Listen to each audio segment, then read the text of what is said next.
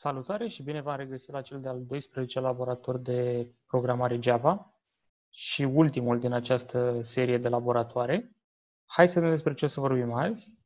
Vom uh, discuta despre, uh, vă spuneam, baze de date în general. Da? Și avem pe de-o parte bazele de date SQL, cu care cred că sunteți familiari. Noi o să folosim azi SQLite, dar principiul de funcționare este același, indiferent de tipul de baze, tipul de bază de date relațională pe care îl utilizăm, da? fie că vorbim de MySQL, de PostgreSQL, de SQL Server de la Microsoft, de Oracle, cât timp am un conector, un JDBC connector, Java Database Connector funcțional și îmi descarc jarul potrivit, pentru că el nu este, da? conectorii ăștia nu sunt uh, prezenți implicit în, uh, în bibliotecile standard ale uh, limbajului Java, și trebuie să descărcate separat bibliotecile pentru conectarea la diferite baze de date.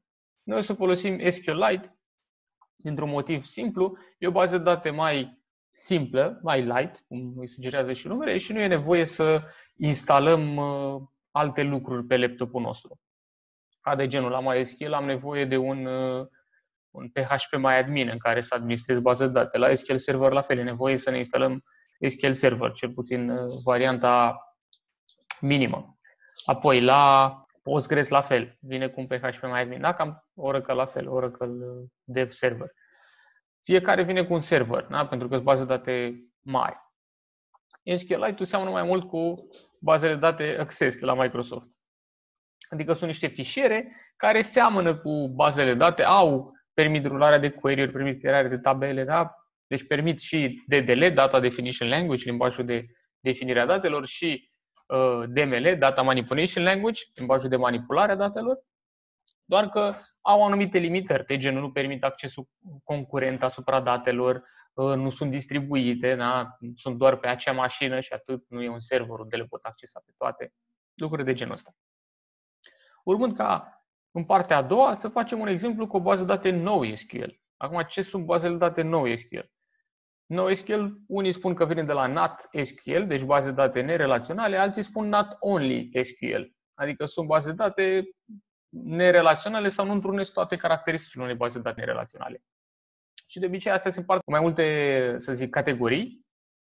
Avem tipuri de baze de date NoSQL, avem baze de date de tip Key Value Store, da? salvează cheie evaluare, perechi de tip cheie evaluare, un fel de map de-al nostru despre care am discutat la Java Collection Framework, serializate.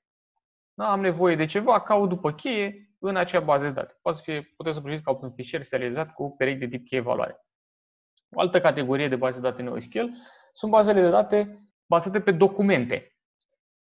De obicei folosim sintaxa JSON. Ca și idee, serializează într-un anumit mod obiectele din programarea în dat obiect. Da? Și salvează documente. De asta sunt bazate pe documente. Apoi mai sunt o categorie bază de date columnare. În loc să se bazeze ca și bazele de date SQL pe linii, da? o tuplă să fie formată dintr-o linie, consideră tuplele ca fiind coloane. Astea sunt utile mai ales în, în Big Data, când am uh, tabele uh, și în BI, Business Intelligence, când am tabele foarte mari, cu foarte multe coloane, dar eu de fiecare dată când fac query-uri folosesc puține din acele coloane. Da? De obicei, bazele date normale, organizate pe uh, tupluri formate din linii, sunt foarte eficiente când fac select steluță. Când încerc să spun select doar coloana aia, aia și cealaltă, atunci lucrurile nu mai sunt atât de optime într-o bază de date clasică, relațională. Ok, deci asta ar fi o categorie. Mai sunt bazele de date graf, de tip graf, în care am entități și am relații între ele și pot să extrag super rapid diferite tipuri de relații, plus baze de date hibride. Avem o dată hibride de NoSQL, adică poate să fie hibrid de document cu Key Value Store sau hibrid de graf cu Key Value Store, um, respectiv hibrid între SQL și NoSQL. Da, sunt tot felul de, de combinații din acestea, sunt foarte multe baze de date posibile. Dintre cele NoSQL, noi o să lucrăm azi cu MongoDB, care e open source și e una dintre cele mai utilizate, nu știu dacă e chiar cea mai utilizată, dar una dintre cele mai utilizate baze de date NoSQL. Bine, acum, acestea fiind zise, hai să ne creăm un nou proiect. Deci merg aici la File, New Java project, nu project, scuze, file, new, Java project și spunem lab 12. Dăm finish. Și în interiorul uh, proiectului, hai să ne creăm prima dată pachetul aferent uh, bazelor de date SQL. Da? Așa că o să zic click stânga, click dreapta, new package, ro.ase.acs.sql. Da? Iar în interior îmi creez o clasă aferentă programului principal, click stânga, click dreapta, new class și o să zic eu uh, SQLite prog main. Da? Deci programul principal aferent bazelor date SQLite, să nu să bifez public static void main. Ok. De asemenea, ca să pot utiliza uh, bazele date SQLite, am nevoie de un conector de tip JDBC. Eu am descărcat deja jarul aferent. Dacă scrieți pe Google uh, SQLite JDBC Connector, eventual și jar, sigur îl găsiți, uh, trebuie descărcată ultima variantă, asta în situația în care nu se folosește Maven sau un alt manager din acesta de dependențe care ar descărca automat. Da? Deci noi mergem pe varianta clasică în care ne adăugăm noi manual jarul, așa că o să dau click stânga, click dreapta pe proiect și o să zic build path și de aici ori add external archives, ori dacă nu vă apare opțiunea de add external archives, configure build path. Și de la configure build path o să mă duc aici în libraries și zic add external jars. Eu l-am pe desktop, dar o să-l mut în, în, într-o folder lib înainte să fac push pe git ca să rămână și, și jarul în repository. Ok, deci SQLite JDBC, open, apply and close. Da, și acum la reference libraries ne-a apărut SQLite. Acum, ca să putem stabili o conexiune, prima dată trebuie să inițializăm clasa org SQLite JDBC și asta se face cu următoarea sintaxă, class.forName da? și aici pot să specific numele clasei și în cazul nostru numele clasei org.sqlite.jdbc Asta ca să se, uh, asta poate să arunce excepție în primul rând, așa că hai să surround try catch, da? pentru că poate să arunce class not found exception. În cazul în care nu există uh, un pachet ori SQLite în care există o clasă JDBC, atunci o să arunce excepție. Da? Aici inițializează clasa, verifică dacă există și o inițializează. Și apoi, folosindu-ne de uh, driver manager, putem deschide conexiunea. Conexiunea arată cam așa, pot să zic connection. Connection egal cu driver manager din Java SQL punct get connection și vedeți că am un string URL. Connection trebuie și importat tot din Java SQL, da? Java SQL connection. Iar URL-ul, hai să fac asta mai mare, e de forma asta. JDBC, pentru că folosesc Java Database Connector, tipul de bază de date, SQLite, două puncte și apoi path-ul către bază de date. Eu acum dacă aș spune database.sqlite.lite.db, da? toate sunt uh, extensii acceptate pentru bazele de date SQLite, înseamnă că această bază de date va fi creată în fișierul local, da? în aceeași locație unde este și executabilul. Ok, o să spun aici add catch close to surrounding try pentru că obținerea conexiunii poate să arunce un SQL exception, da, nu un class not found exception. Atunci când rulez query SQL, pot avea două posibilități. Bine, poate mai multe, dar hai să ne concentrăm pe asta două. Odată ca fiecare query să fie tratat unitar, adică ok, am rulat un insert, s-a executat insertul, am rulat un update, s-a executat update-ul și așa mai departe. Fie pot lucra cu tranzacții. Tranzacțiile sunt operații atomice, adică fie se execută în totalitate, fie nu se execută deloc. Și atunci, de exemplu, eu dacă vreau să fac un update, un insert, alte două update-uri și alt insert, dar nu vreau să se oprească la jumate, adică după primele două inserturi să crape și să rămân cu datele parțial inserate. Și atunci ce fac? Creez o tranzacție, încep tranzacția înainte de executarea acestor instrucțiuni pe care le-am enumerat, la sfârșit închei tranzacția. Tranzacția respectivă se execută ori în totalitate, da, de la un capăt la altul, ori dacă ceva se întâmplă de-a lungul tranzacției, face rollback. Adică datele revin la momentul dinaintea tranzacției. Astfel încât să nu am niciodată uh, date care poate au fost stricate sau afectate de mai multe query-uri care nu s-au executat în totalitate. Și asta putem să facem și noi aici pe connection. Avem o, un flag, pot să zic aici connection.set autocommit și dacă îl pun pe false, atunci lucrăm cu tranzacție. Da? Trebuie să, după ce execut mai multe query-uri, trebuie să vin eu să spun commit ca acel query să fie executat. Hai să-mi creez, ca să separ puțin uh, metodele, hai să-mi creez o altă funcție statică, ca să nu am nevoie de instanță de clasă. Și această funcție statică să creeze tabela. Bineînțeles, o șteargă dacă există și apoi să o creeze. Și atunci spun aici public static void create table și hai să trimitem conexiunea connection connection Aici poate ar fi bine să utilizăm în main un uh, try with resources. Hai că putem să facem chestia asta, adică aș putea aici să fac, nu un try with resources, un uh, try catch finally, pardon. Să zic aici connection, connection. Da? Aici să zic că acest connection egal cu driver manager, bla bla bla și la sfârșit în finally Da? Dacă totul e ok, dacă acest connection e diferit de nul, dacă poate a crăpat și s-a dus direct în cache, atunci connection.close. Da, închid conexiunea la bază de date. Conexiunea fiind acelea, aceeași pentru toate funcțiile pe care le voi scrie. Ăsta poate să arunce excepție, așa că o să zic să de try catch. Okay. Hai să zic aici egal cu 0 ca să fie inițializată explicit. Da? Deci am zis sus aici connection egal cu null, ca să nu rămână neinițializată. Aici, dacă connection e diferit de null, try connection.close, catch, SQL exception. Ok, acum în create table ce o să fac? O să-mi iau uh, stringurile de creare și respectiv de ștergerea tabelei dacă există, ca, da, să nu știți că dacă încerc să creez o tabelă care există cu uh, cod SQL create table, da? cu comanda create table o să crape. Aruncă excepție, nu poate să creeze o tabelă care există deja. Și atunci o să zic aici string SQL egal cu drop table if exists employee. Da? Ștergem uh, tabela employee dacă există.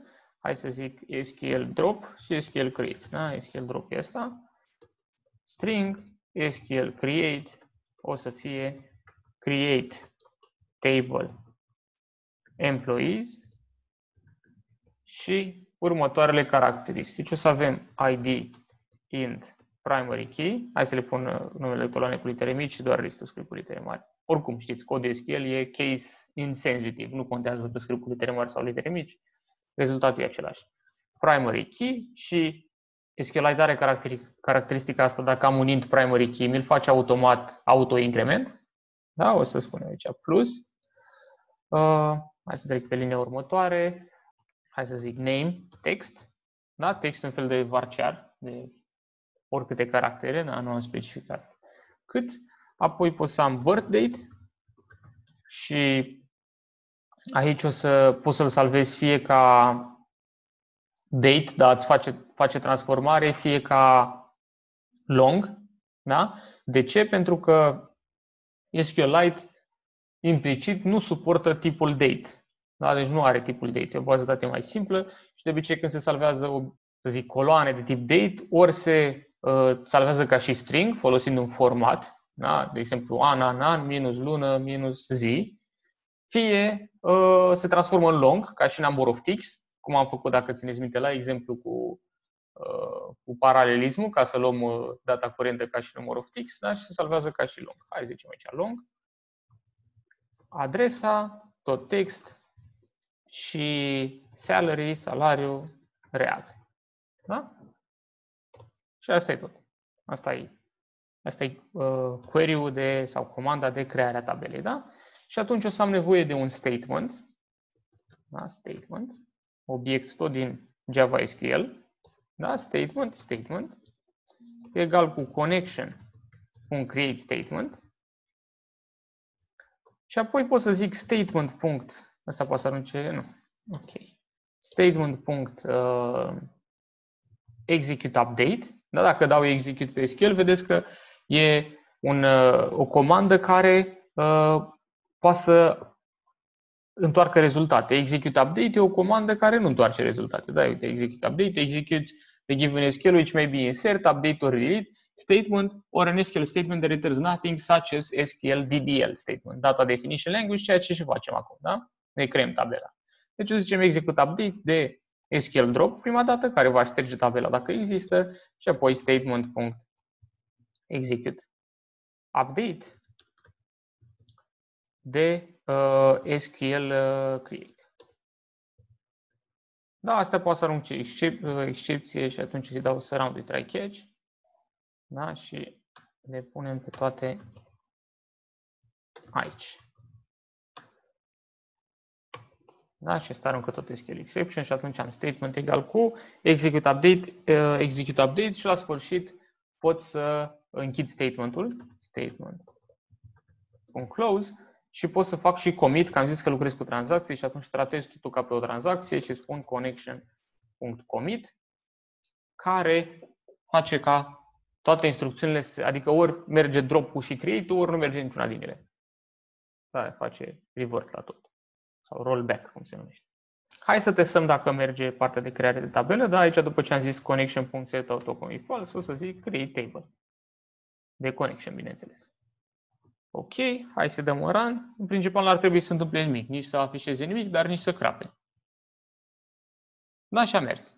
Nu s-a întâmplat nimic, asta înseamnă că a reușit crearea tabelei. În principal, dacă există vreo problemă, nu am jarul sau chestii de genul ăsta, nu prea pot să folosesc, uh, adică clasele să le folosesc din Java SQL, dar în momentul când o să ajung aici la class for name org SQL JDBC, o să crape. Zice cannot find uh, JDBC connector, ceva de genul ăsta. Ok, ne-am creat tabela, hai să inserăm niște date în ea, da? Deci o să merg aici mai jos și după create table mai fac o metodă public static void insert values de connection connection. Și pot să-mi fac un, un uh, statement normal, da? Adică să zic ceva de genul ăsta iarăși. String SQL insert. Să carcodez valorile egal cu insert into uh, employees și fie spun aici toate coloanele pentru care vreau să inserez date, fie dau valori pentru toate, na? adică puteam zic aici employees, poate doar de name și birthday și atât. Da? Sau pot să zic values și atunci dau valori pentru toate, să zicem ID-ul e 0, Uh, numele este Ionel Popescu. Uh, data nașterii este, am zis că o dăm ca long.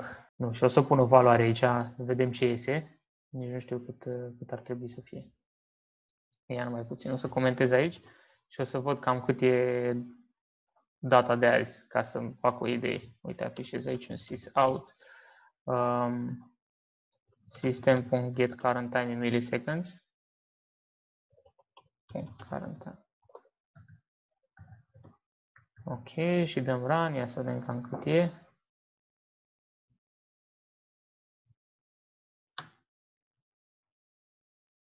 Temple employee already există. Uite că am o ok, control că am dat aici la valoare, o pun din coace și acum vedem ce s-a întâmplat și cu da? O să las puțin asta așa. Hai să vedem ce s-a întâmplat dincolo. Îmi spune că baza de date deja există. Drop table if exist employees. Am mâncat un S aici. Da? Și asta era problema. Nu șterge. Și atunci dăm run. Și totul e ok. Da? Îmi afișează valoarea asta. Hai să o șterg de aici. Ok, mergem mai jos. Deci aici drop table if exists employees și create table employees. Ok, hai să mai scad niște valori pe aici. Uite, să pun aici un 4. Vedem noi ce înseamnă asta ca și an. Uh, asta e birthday. După aia adresa, să zicem că e... Uh, o să trec eu pe rândul următor.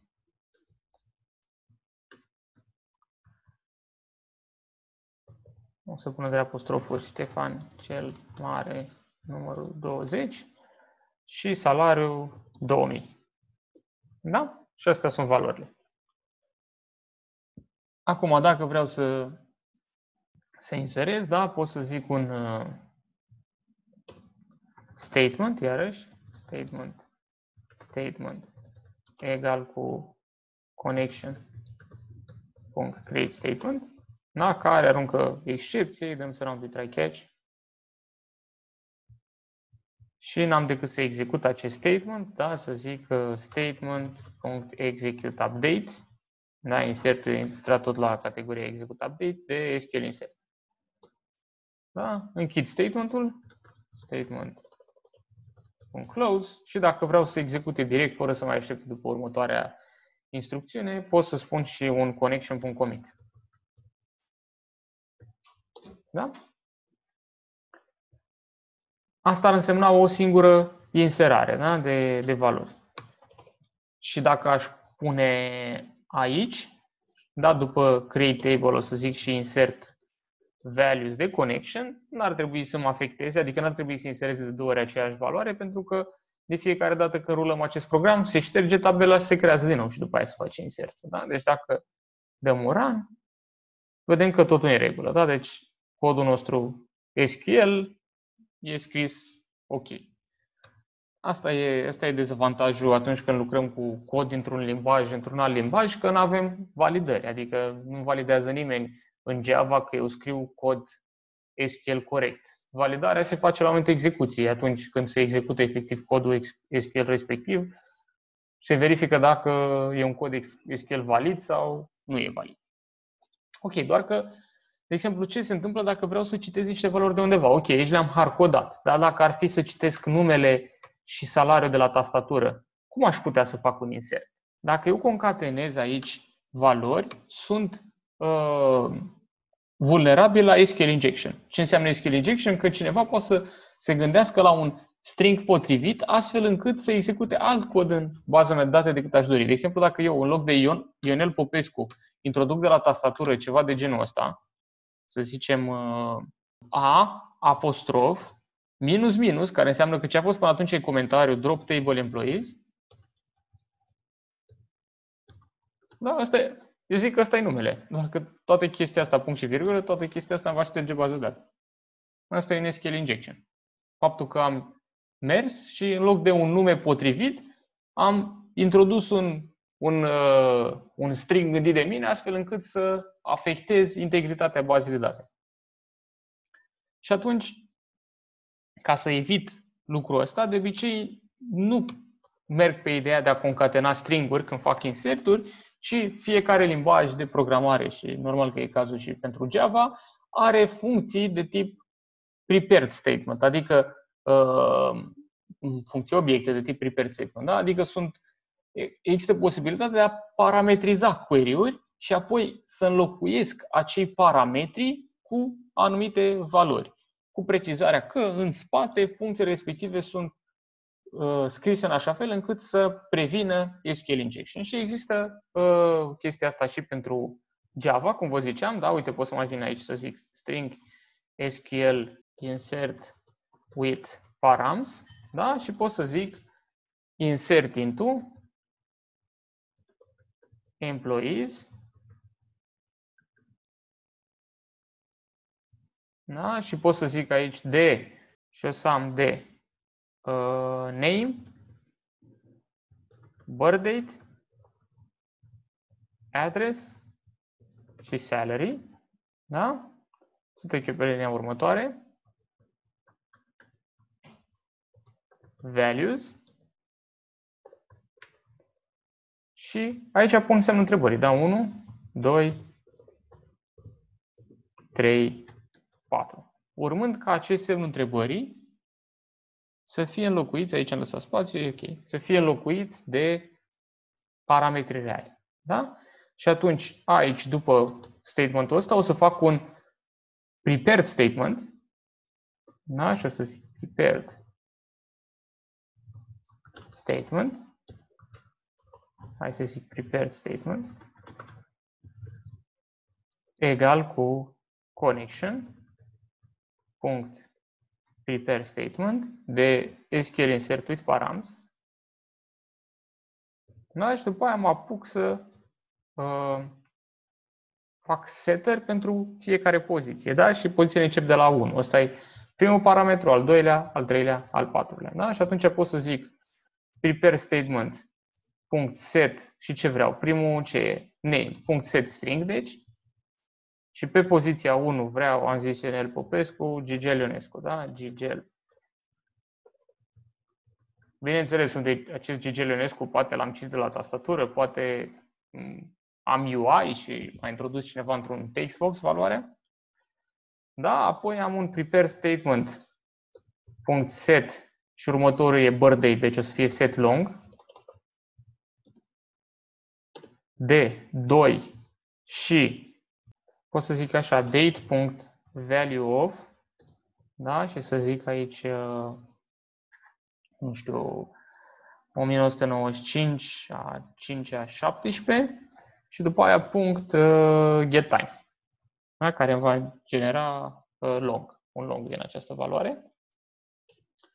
Ok, set long și mai am uh, set text adică set string, prepare statement, punct set string de 3 și o adresă, să zicem, dacă tot avem Ștefan cel Mare, Mihai Bravo, numărul 15, și mai avem un prepare statement, punct set, ultima valoare uh, double, da? 4 și uh, să zicem 4000. Da? Ok. Am pus toate valorile, mare grijă pentru că cât semnul întrebării am, atâți, atâția uh, parametri trebuie să introduc, adică aici dacă sar un parametru să-mi dea eroare la, la execuție, că nu știe cu ce să înlocuiesc un semn întrebării. Da? Și atunci pot să zic aici prepare statement punct execute update, că n-am nevoie de rezultat, da? și prepare statement punct close și uh, connection.commit. Ok, hai să testăm și, adică de fapt e deja scris insert values. Uh, ce trebuie să testăm noi e dacă merge în continuare funcția. O să-i dau un run să fiu sigur că n-am greșit nimic. Și pare să meargă. Hai să și citim datele, să vedem că într-adevăr s-au inserat. Din păcate, SQLite-ul nu are un uh, Explorer, să zic așa, built-in, da? Nu există uh, câteva aplicații, să le zic third party, care vă permit să vizualizați baze de date SQLite, dar uh, în principal uh, nu există ceva de la ei, adică ceva oficial. Și n-am nici instalat ceva de genul ăsta. Cred că dacă dăm un refresh aici ar trebui să apară. Da, uite, database.db, doar că na, e o bază de date E un fișier binar și atunci n-am ce să înțeleg bine. Ok, dacă aveam un, un editor, cred că există și uh, plugin pentru Eclipse, dacă vreți neapărat, și atunci vedeam exact ce se întâmplă, ce coloane am, ce tabele am, dar o să fac un, un select acum ca să văd că într-adevăr astea sunt datele. Mă asigur că scriu la sfârșitul funcției și iarăși o să am un public static void select data de connection connection și aici o să am un uh, string, string SQL select da? și o să fie select, hai să merg pe steluță, from employees. Da? Aș putea să pun și un where și mai multe chestii. Da, hai să vedem, avem doi angajați inserați, dacă mai fac și un where, obțin o singură valoare. Da? Și atunci, iarăși, folosesc un statement, statement statement egal cu connection create statement. Da? Ăsta poate să arunce excepție, deci să to try catch. Ok. Și apoi o să folosim statement.execute query de data asta. Da? Că e un query ce vrem să execute numai un update și atât. Și nici nu e nevoie de commit pentru că selectorile nu fac parte din tranzacții, da? nu afectează integritatea datelor. Și atunci o să zic uh, statement punct execute query, da? care execute query primește ca și parametru un string SQL select. Perfect. Execute query, dacă ne uităm, returnează un result set. Așa că hai să zicem aici, result set rs egal cu statement.execute query result set din Java SQL. Da?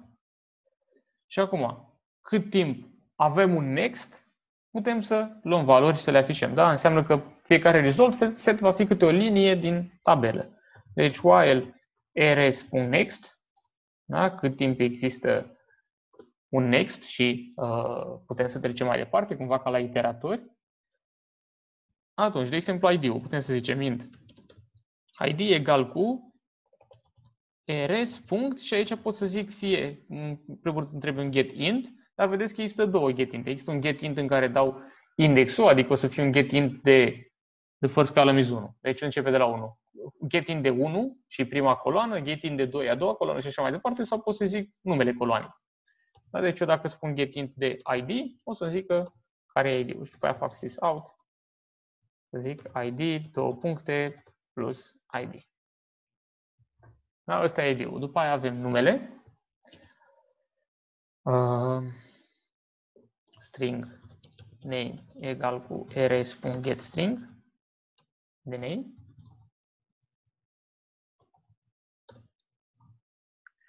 Apoi avem, bine și aici sysout de name, două puncte, plus name. Apoi avem uh, nume, uh, ziua nașterii. Da? Și asta o să fie un long. Long birth date egal cu uh, rs.getLong de birth date. Day sau date? Ia să vedem imediat. Date, i-am zis. Birth date. Ok. Uh, și asta când îl afișăm putem să-l transformăm în string, adică să zicem în, sysout, în uh, date, scuze. Să zicem în sysout name, uh, pardon, birth date, două puncte, plus new date de birth date.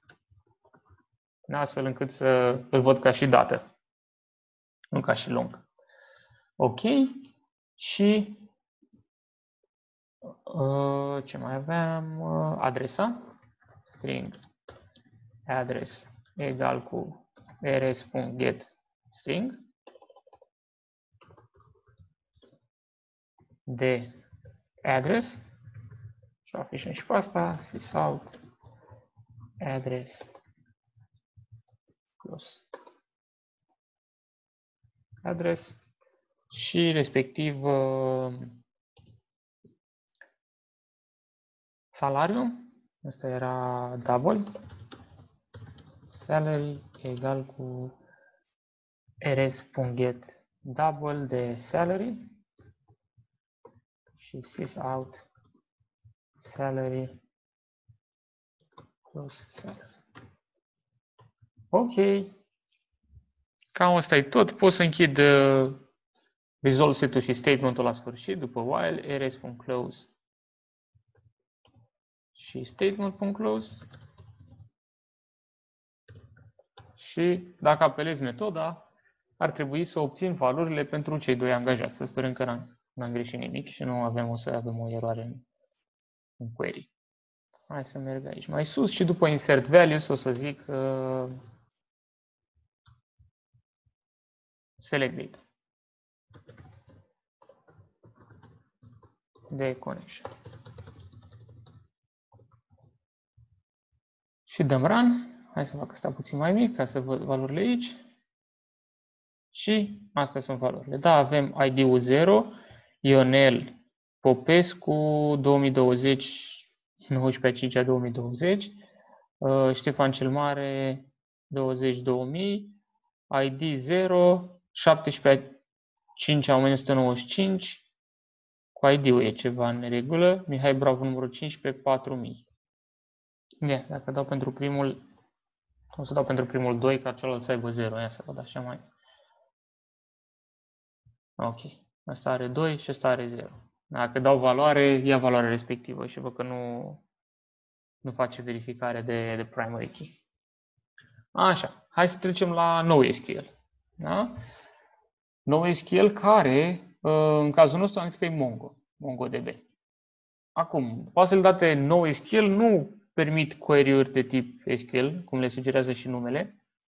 Hai să ne creăm prima dată un, uh, un pachet, click stânga, click dreapta, new package, row.ase.acs.noSQL. Și aici, hai să zic încă o dată, click stânga, click dreapta, new class, mongo, prog, mongo, prog main și be from public static void main. Da? Și acum o să avem nevoie de un server de MongoDB. Din păcate trebuie instalat, adică voi nu o să puteți să, nu cred că o să meargă codul pe care o să scriu dacă nu aveți instalat serverul de MongoDB. Da? El este MongoDB Compass Community. O să pornească imediat. Da? Și aici pot să văd diverse, pot să mă conectez la baza de date și pot să văd diverse uh, date inserate, ea fiind o bază de date, uh, așa cum vă ziceam, bazată pe documente. Da? Deci fiecare uh, inserare e un document. Ăla, ăla se încarce. Hai să ne adăugăm și jarul de uh, lucru cu Mongo. Uh, build path, configure build path, add external jars și Mongo Java Driver 3.12.4. Există și varianta apărută de Mongo Driver 4, punct ceva, dar e momentan în beta, așa că am mers pe ultima variantă stabilă. Spun aici client close.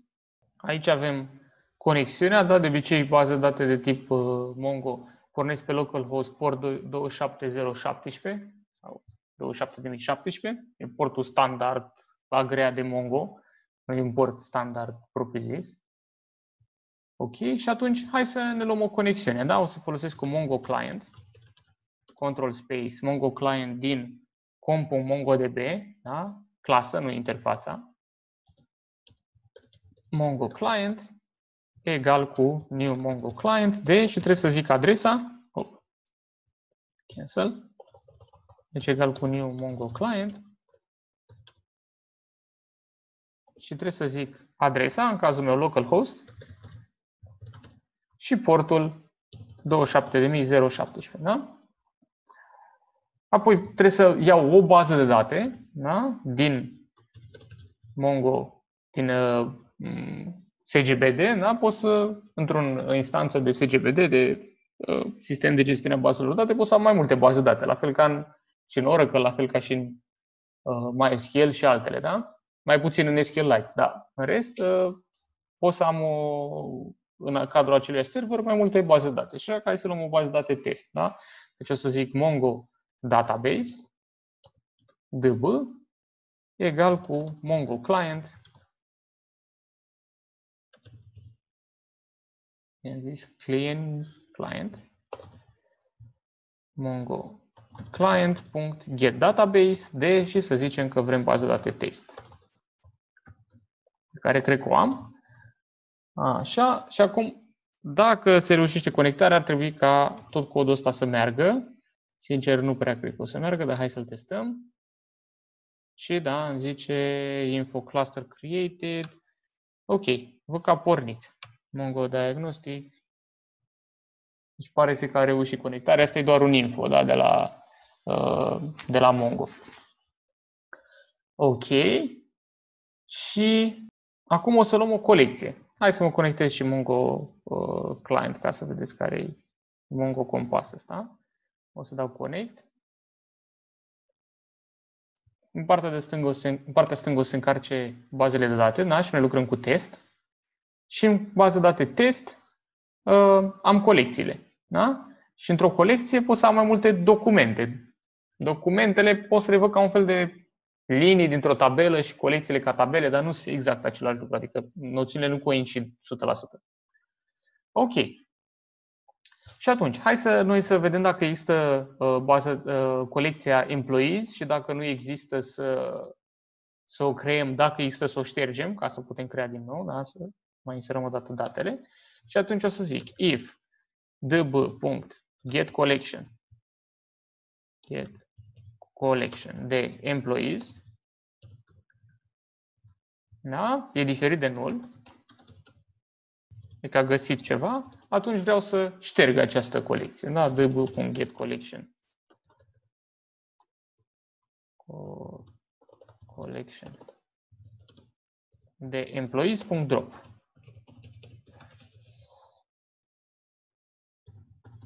Da? Și am șters-o. Acum, dacă am șters-o, sigur o pot crea, așa că pot să zic db.create collection employees. Da? Dar o, o șterg doar dacă există. Dacă nu, nu o să intre aici și doar se creează. Da? Și din, uh, pentru a, acum pentru a insera un document în bază de date, am nevoie de o, un obiect de tip document. Documentele într-o bază de date MongoDB sunt de tip BSON. BSON vine de la binary JSON, da? un fel de JSON serializat, binar. Și atunci, uite, pot să-mi iau un document, dar document trebuie să am grijă să-l import din org.bson. Da? Ăsta va fi un document, ca să pot să inserez ceva. Da? egal cu new document și apoi pot să document și apoi pot să spun punct append da? și de fiecare dată am cheie valoare și pe mine ce mă interesează? De ID am nevoie, automat se creează un ID al fiecărui obiect care e unic. Uh, hai să facem ca data trecută. O să avem, uh, aveam name și Gigel Ionescu. Da? Punct. Iarăși append mă duc mai stângă cumva sau poate, poate să mă duc așa. Zic aici, apoi iarăși punct și pe linia următoare append. Apoi aveam uh, birth date, dacă nu mă înșel, birth date și pot să zic aici new date, care să-mi dea data de azi. Date din Java util. Da, virgulă. Uh, append. Pardon, nu virgulă, punct. Punct append de uh, ce aveam nume, birth date, salary și address, nu? Aici aveam address, care e de tip string și atunci zicem noi Ștefan cel mare, numărul 20, punct append, trece pe linia următoare și mai aveam salary, care era 2000. Da, ăsta e documentul care în interior are perechi de tip cheie valoare. Și apoi, uh, dacă eu am colecția, am după punct create collection de employees, pot să uh, găsesc colecția. Acum pot să zic db.get collection, ca mai sus, de employees. db.get collection, dacă ne uităm, ne, ne returnează un Mongo collection de document, deci o colecție întreagă. Și atunci spunem aici Mongo collection. Asta trebuie importat. Da, de document. O să zic eu collection. Sper că n-am mai folosit pe sus, n-am zis collection. Egal cu db.getCollection de employees. Asta e colecția cu toate documentele și atunci o să inserez documentul în colecție. Collection, punct, insert și am insert many sau insert one. În cazul meu am un singur document, da? insert one de document. Da? Și atunci ar trebui să văd acest document inserat în Employees cu precizarea că atunci când rulez acest program o să șteargă dacă există colecția Employees, o recrează și inserează acest document. Ok, am uitat să închid Mongo Client, deci undeva la sfârșit să nu uităm Mongo Client un close. Dacă de asta se plânge, că nu l-am închis. Hai să dăm un run, să vedem dacă crapă sau nu crapă.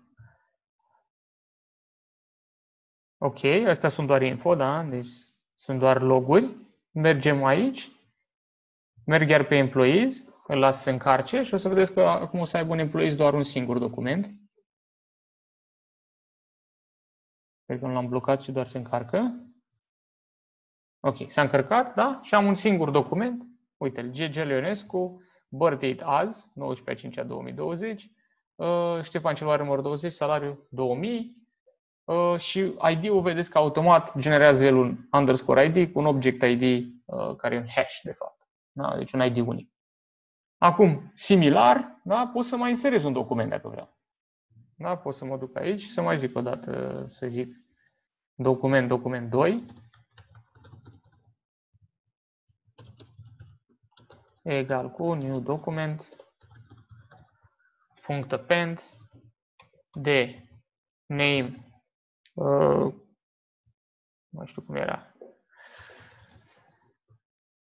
Ionel Popescu, să zicem punct append de birth date. Și aici să zic uh, new date, au să las așa. Bineînțeles, documentele nu trebuie să aibă neapărat aceeași structură. Da? Vedeți că uh, eu nu sunt obligat aici. De exemplu, uite, la, pentru asta hai să nu pun birthday deloc. O să spun direct address și Mihai Bravo 20 și salary.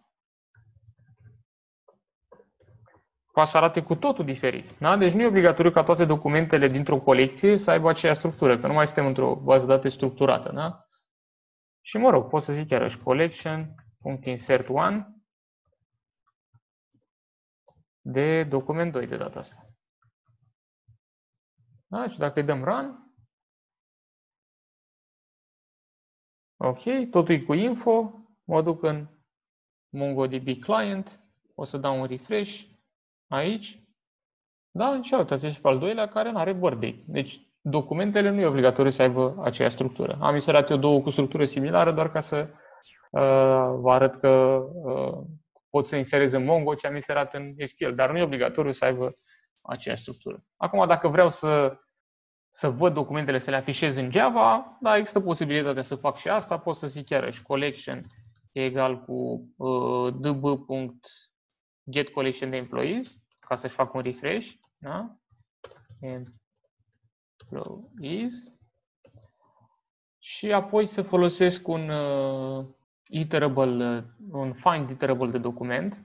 Sunt clase specifice Mongo de document. document hai să zic it, egal cu collection.find, da? care va duce la căutarea colecției și o să-mi returneze, returneze acest find iterable de document și apoi o să folosesc un cursor ca să parcurg. Un Mongo cursor de document o să fie it.iterator. Da? Se bazează pe iterator și ăsta și după aia cât timp. Asta e cursor, da?